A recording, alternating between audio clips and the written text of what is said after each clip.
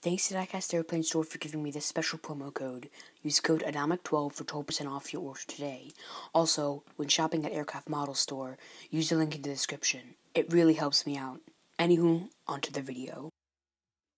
Okay, so basically, I lost the footage of me opening the box with the model in it. So I'm just gonna cut straight to uh, me showing the details of the model, and you guys can see um, the box uh, at the end of the video. So just enjoy the video. Okay, uh, I forgot to say this, but basically, I know I'm filming this on December 3rd, 2020. I got, of course, this is part of the October 2020 releases, Gemini Jets October 2020 releases, and I ordered it. It didn't come in November, and then Gemini announced that they're um, future releases are going to be delayed, not only the October ones, but the December ones. So yeah, this one was delayed. Uh, Diecast Airplane shipped it on November 30th, and I got it today, which is December 3rd. That's actually pretty fast shipping. Good job, Diecast Airplane. Um, and based on the timeline for this model, like when it was shipped, I'm pretty sure the Gemini Jets December 2020 releases aren't going to be shipped until either late January or early February. So just keep that in mind when you're going to pre-order uh, Gemini Jets' new models. But yeah, anywho, on to the detail segment. Starting off the detail segment for this model, you have the tinted cockpit windows. This is not just how um, this is how every single Gemini 7810 comes, uh, and 787.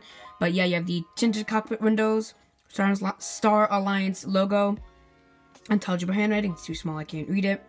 L1 door, stubby landing gear. The landing gear is actually quite stubby on this model um, from what it looks like. But yeah, you have the um, awesomely well done United Blue Evolution titles. You can't go wrong with that. Uh, antenna, Wi-Fi hub slash HUD, L2 door. You have the engines. Uh, I'll show you guys something later. Uh, you have the engines. You have the wings. Uh, here you have the L3 door. And at the back of the aircraft, you have two antennas. The registration, which is November 12010, the American flag, Dreamliner titles in blue, L4 door, serial number, and the awesomely well done uh, United Blue Evolution tail. And of course, you have the classic, as is going to be classic, and for the future will be United Delivery. You have this blue flourish, which I'm really, really a fan of the blue and gray flourish on the bottom of the aircraft. But yeah, I'm gonna take the camera off the tripod to show you guys something. Something that I've noticed is that the engines, they're slanting down. I don't know if you guys can see this, but it's, it's, it's a very slight slant, but still though, for somebody who paid $55 included shipping, and I get the model like this, like produced from Gemini, it, it's kind of decreases the quality, you know? But yeah, this is the blue engines, but the, the color is very nice, but it, it, the engine is slanting down. Uh, Aviation 18 um, Triple seven twos in the new livery United triple seven twos came like this, the engine slanting up.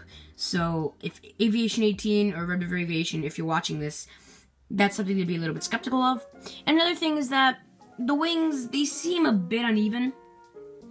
Uh, I don't know if you guys can see this properly, but the wings seem a bit uneven. Uh, the left wing is uh, higher than the right wing. And I don't know if it's just my model, it's like a model defect, or is it on all models? Um, you guys should comment down below and talk about in the comments, please, because I really hope you guys don't get your model like this. But yeah, on the bottom of the aircraft, it's basically normal Gemini jets. You have the Gemini Jets logo, and of course, all the landing gear came intact.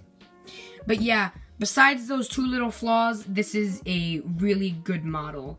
And yeah, let's move on to the conclusion segment. So I've just finished filming the detail segment, and uh, looking at the model in closer detail, just like I was admiring the beauty of this model, and I found another thing that's really bugging me. This is very peculiar of Gemini. Usually, uh, this is very peculiar of them, but the engine seemed quite low to the ground as compared with my uh, NG United 7810. And I don't know if this is just my model, like I said, or if it's with every model. Please comment down below when you guys get yours, uh, your 7810s, whether this is the case. But yeah. Moving on to the conclusion. So my final thoughts on this model is that I have a very mixed opinion about it. On one hand, the livery looks very good.